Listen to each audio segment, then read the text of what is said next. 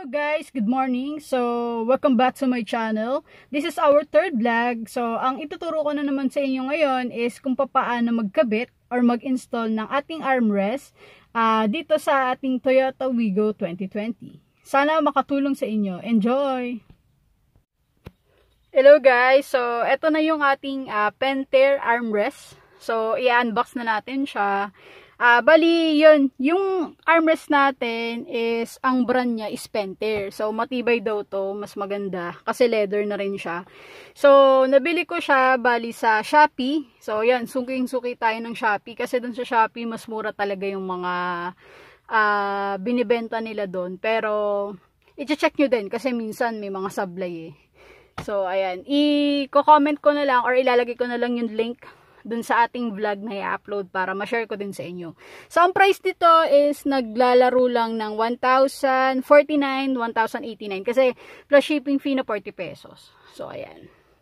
So, syempre, kakailanganin din natin yung sa armrest is yung tools. Ito. So, sa mga nagme-message sa akin, guys, uh, nag-PPM sa Facebook, dun sa, sa inano ko na story, in, pinost ko na story ko, So, isa-share ko na lang din yung link. Sa Shopee ko lang din to nabili. Murang-mura, 275. So, very useful siya. Magagamit nyo siya lalo na sa mga walang gamit or gustong magkakalikot or mag-ayos ng sasakyan nila. So, pwedeng-pwede ito. Malaking tulong to guys. So, yun. Bali, i-unbox na natin yung ating Pentair armrest. Check natin.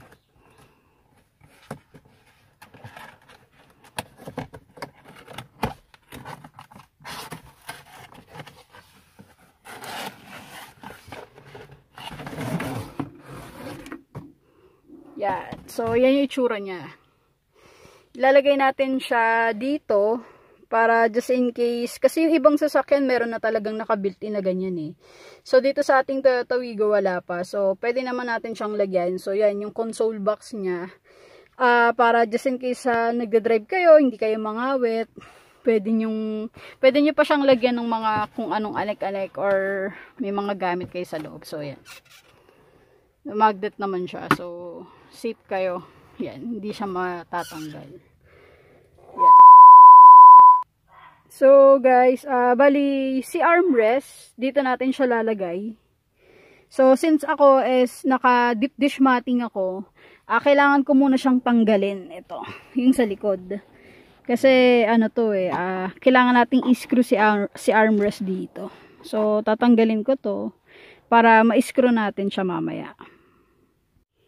So, ayun guys, uh, bali natanggalan natin yung ating deep dish mat. So, ito yung sinasabi ko sa inyo kanina. Kailangan natin siyang screw. Yan, tanggalin yung screw. Kasi i-screw natin dyan yung ating console box or yung ating armrest. So, ito, tatanggalin natin siya using yung ating tools na nabili. So, yan. Kailangan natin siyang i-unscrew. So, ayun guys, uh, natanggal na natin yung screw dito sa ating uh, paglalagyan ng armrest. So, ayun. Ito yung free nating screw dun sa kasama ng armrest. So, kakabit na natin siya guys. Yan. Dalagay na natin siya dito. So, yan mapapansin nyo.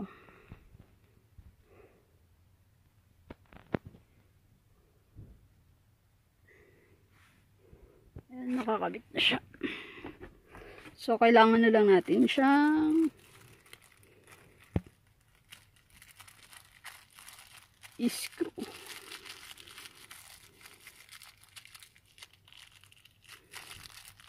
Bali yung frame screw na galing dito sa ating armrest, yun yung gagamitin natin kasi mas mahaba-haba siya. So, ayan. Kakabit lang natin ulit siya dito. Using our tool, syempre.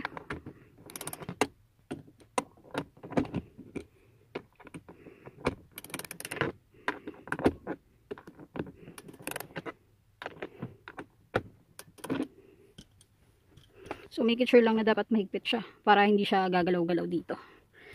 Ayun guys, so, ayun guys, so na-install or nalagay na natin yung ating magandang armrest.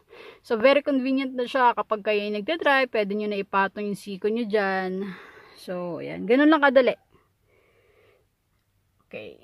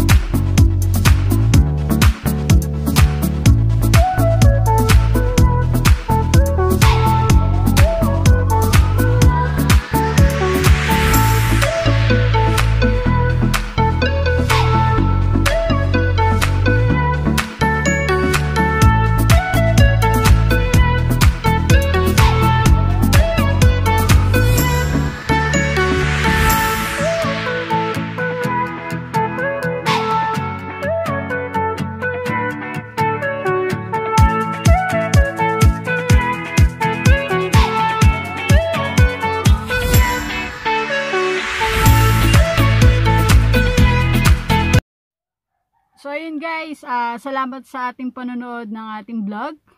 Ah, bali kung meron kayong mga suggestions or recommendations na gusto pa nating i-vlog, ah, comment down below lang ha. Salamat! Thank you sa inyo. Yeah.